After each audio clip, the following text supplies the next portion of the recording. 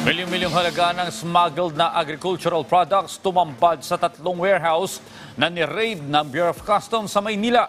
Ang mga naturang warehouse, ipinasara na si Bien Manalo sa detalye.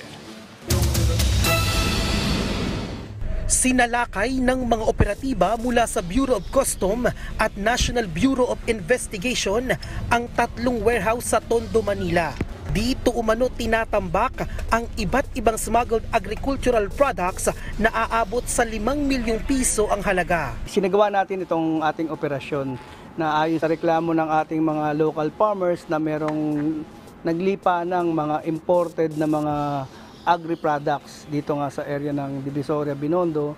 At nung nagkandak po tayo ng surveillance operation, nakita naman din po natin yung mga inirereklamo nila. Isa lamang ang establishmentong ito dito sa Barangay Santo Cristo sa Tondo, Maynila sa tatlong warehouse na pinasok ng Bureau of Custom kasama ang National Bureau of Investigation kung saan mahigit 5 milyong pisong halaga ng umano'y smuggled agricultural products ang nasabat. Kabilang sa mga nakumpiska ang mga prutas at gulay na pinaniniwala ang nagmula pa sa China. Ayon sa BOC, iba't ibang paraan ang ginagawa ng smugglers para magpuslit ng mga produkto sa Pilipinas.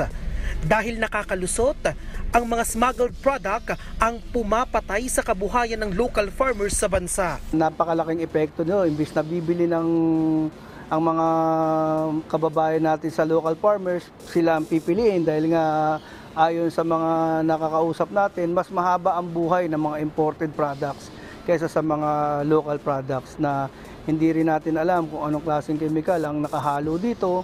Nagpaalala rin ang BOC na peligroso ang mga smuggled product. Sa mga tumatangkilik naman po, siguraduhin po natin na hindi tayo mapapahamak sa mga binibili nating produkto at doon naman po sa gumagawa ng ganitong klase ng paglabag sa batas, hindi po tumitigil ang Bureau of Customs sa pagtugi sa kanila. Walang arestado sa raid pero ipinasara na ng ahensya ang tatlong warehouse.